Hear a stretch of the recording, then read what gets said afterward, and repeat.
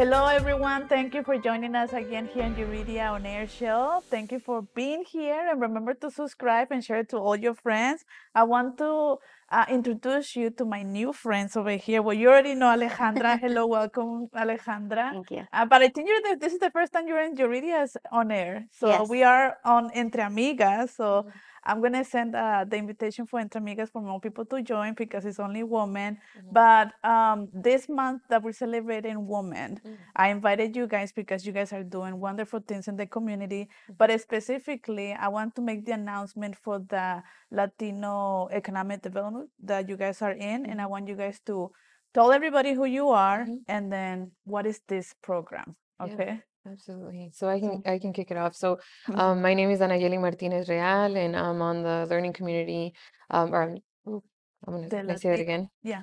Sorry, I was gonna start representing the wrong thing. I'm sorry. Um, um, my name is Anayeli Martinez Real, and I'm on the Latino Economic Development Council, and Mhm. I'm on the board. Um, and really, the LEDC was formed um, last year, in the last year or so, and it was specifically to draw more um, attention to all the needs that are that exist in South Omaha. And so there'll be a lot of different things that are um, developed through the council, and it's going to be youth development, career development, workforce development. And then right now, we're currently taking on a $94 million project that will Oh, really revitalize South Omaha with a new pla- the Plaza de la Raza. Instead of it just being a parking lot, it'll be a Mhm. plaza where there can be concerts um, and different events like a throughout the little year. park, Like a little of part with the kiosco, like a um, real plaza. like a real Real plaza, plaza. like the ones we real have in one. Mexico. And that'll be really exciting and also a culture building where folks can come together and you can display your art, you can have different community events. Because sometimes when we're going to have events in South Omaha, it's really tough to get a space. So there'll be a culture building, there'll be a parking garage. I mean, parking is such a difficult thing that we Yes, have in. South Omaha, especially when there's events. So there'll be a parking garage, um, and then also one that will be a mixed use housing with some retail and also some residential um, on the That's upper what we floors. need. That's what we need because we already gathered there, right? Mhm, But it's hard. So it's it's something that it's been missing. mhm. So tell us, how did this um what is this like uh is this a nonprofit or, or how did it started or Yeah, so it is a nonprofit. It's a Mhm. 501c3, um, and it was really started um, by the brains of um, Marcos Mora, Itzel Lopez, um, and Armando.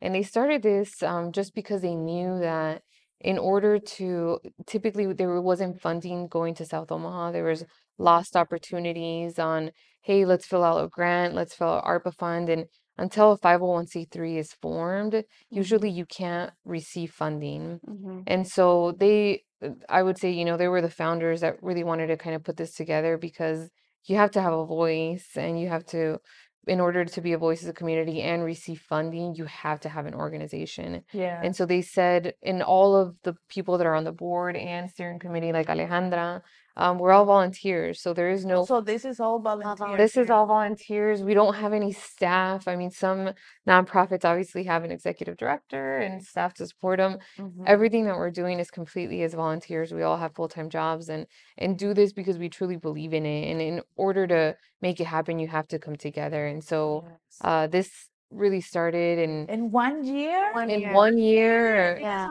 making all this noise It's incredible. not noise action Action. So what is it? How how is this process? Is it a bill, and then you guys um, submit the bill, and then vote? How does it for people that are new Mm. in this country that they don't have an idea how to do how this process work? Can you guide us? What what is that? Yeah, absolutely. So last year was LB 1024 that was introduced, and Mhm. that bill was introduced to allow a little over $300 million to go specifically to COVID affected areas, which in urban areas Mm. was North Omaha and South Omaha that were extremely affected during the pandemic. Mm-hmm. And so that bill was um, introduced and passed last year.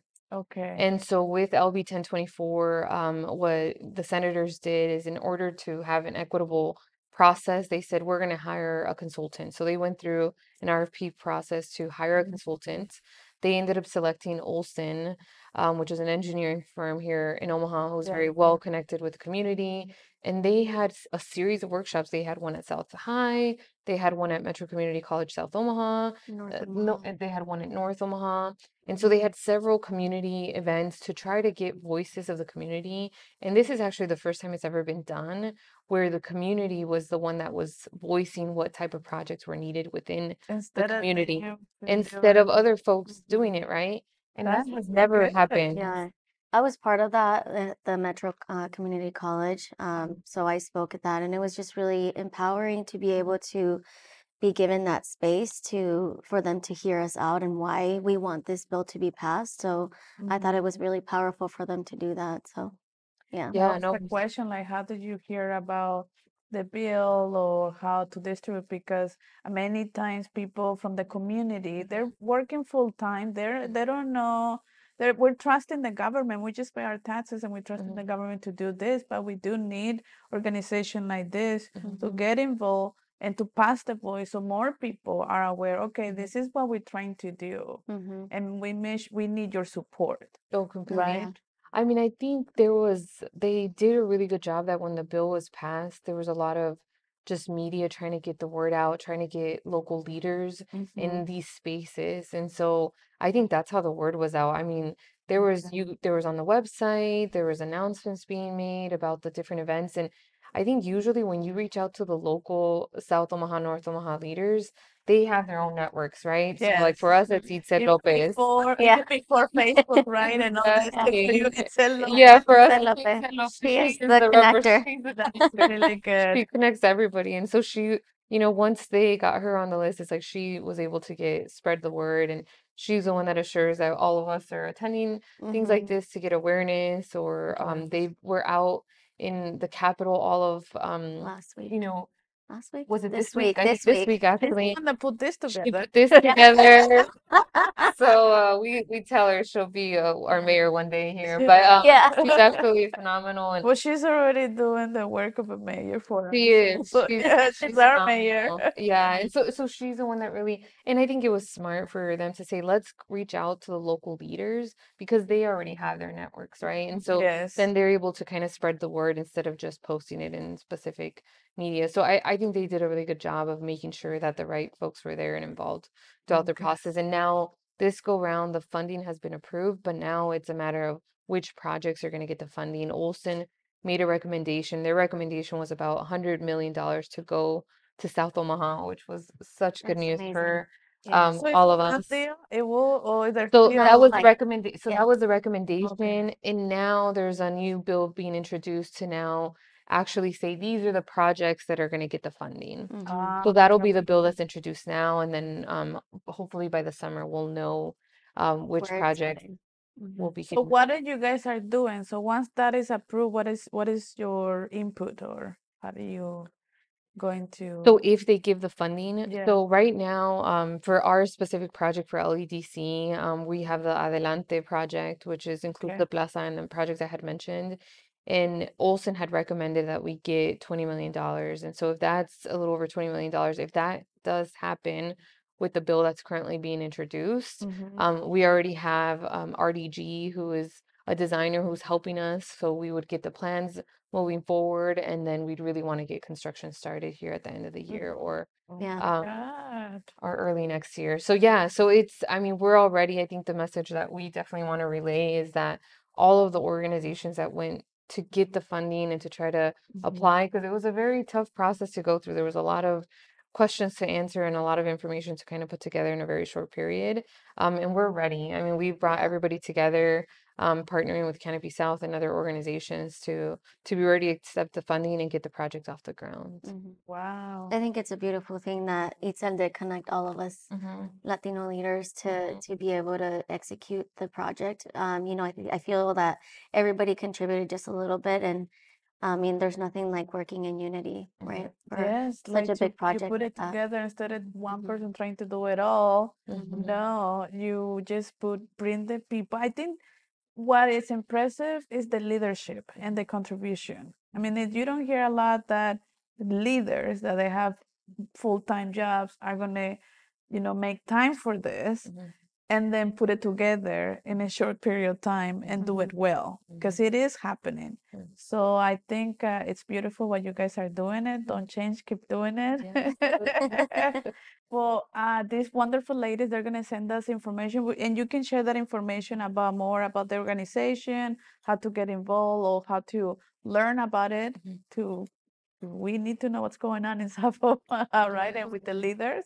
And so I think it's important that people understand because sometimes we watch the news, but we don't understand. Yeah. So you guys will share that information. We put it in there. Yes, Yeah. that'd be Okay. great. Well, thank you for being here. Absolutely. We'll see Thank you you for again. having us. Yes. Great. see you guys again because I need to get you guys' stories. Okay. absolutely. Thank you. Bye bye.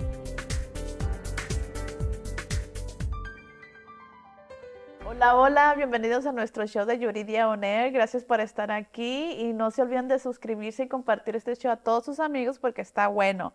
El día de hoy tenemos a una gran amiga, gracias por estar aquí, Ale, que es nuestra amiga de Entre Amigas, que les vamos a mandar la invitación ahí para que se, se unan al nuevo show que es privado para mujeres, ¿no? Pero con este mes de la mujer, pues obviamente que gracias por estar aquí en, en nuestro otro programa y que nos compartas porque ahorita está la noticia eso del plan del sur de Omaha y muchos no sabemos exactamente qué es lo que es o no entendemos el proceso, entonces por eso es- te invitamos para que nos expliques qué es este programa de latino se llama, ¿verdad? Ujú. Eh, Es o- o cómo. LEDC. So LEDC es uh, Latino Economic Development. Council. Um, eh, fue, esta organización es un 501c3, es una organización caritativa. Este fue, pues fue formada el año pasado. y Tiene poquito. Tenemos poquito, pero Ajá. hemos hecho mucho um, en grupo y tenemos al, al board ejecutivo um, que está Itzel, Armando ah, Salgado, este, Nayeli, um, Marcos Mora, este, Yesenia Valenzuela y ¿quién más? Bueno, Alguien más, ahí vamos a poner los, los ahí vamos demás. a poner César y esta Cristal, pero yo estoy en el comité um, y en el comité ya somos muchos más. Ah, básicamente somos diferentes líderes en la comunidad latinos ah, y nos formamos porque que- queríamos básicamente que fondos que el gobierno da para que pueda hacer diferentes, ¿cómo se dice? Developments. Como, pues sí que, no sé.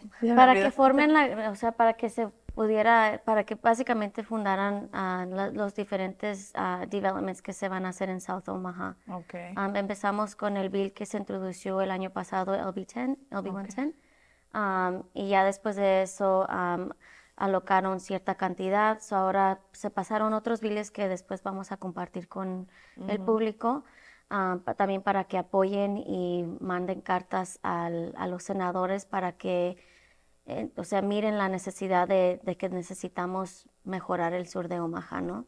Oh, Um, pero básicamente parte de eso, de esa reconstrucción es un, vamos a, a ¿cómo se dice? Revitalize, Como revivir. como revivir la Plaza La Raza, o sea, va a ser un parque más bonito, va a ser un lugar donde podemos tener conciertos, um, y no solo eso, o sea, va a ayudar la economía del sur de Omaha también. Sí, porque obviamente, pues ah, nosotros, la comunidad latina, somos fuertes, ¿verdad? Sí. Con poquito crecemos, pero sí hace falta, especialmente cuando veo otras comunidades que están creciendo y a veces uno se queda, pues aquí el de sur de Omaha está igual, o sea, queremos un cambio. Sí se requiere como un lugar, como un centro de, de, pues, de reunión, ¿no? Como una placita. Eso es lo que van a hacer, porque miré unas fotos y dije yo, ¿what? Eso se va a hacer porque viene el estacionamiento, un parque, un kiosco. Ese es el plan, es la Sí. propuesta entonces.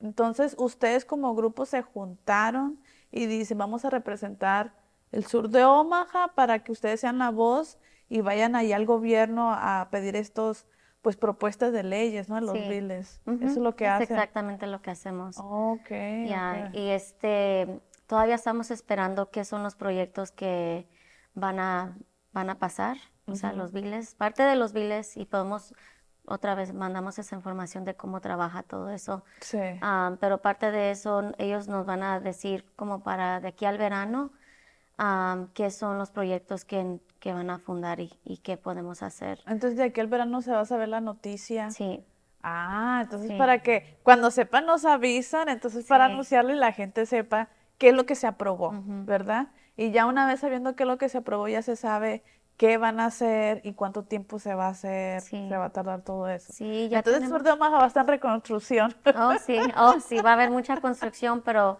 va a ser para para el mejorar. bien. Ujú. Sí, qué bueno, qué bueno. ¿Hay algún anuncio tú que quieras anunciar a las personas que este, cómo involucrarse o qué necesitan? O sea, porque pues esto es como de comunidad, ¿no? Claro que sí.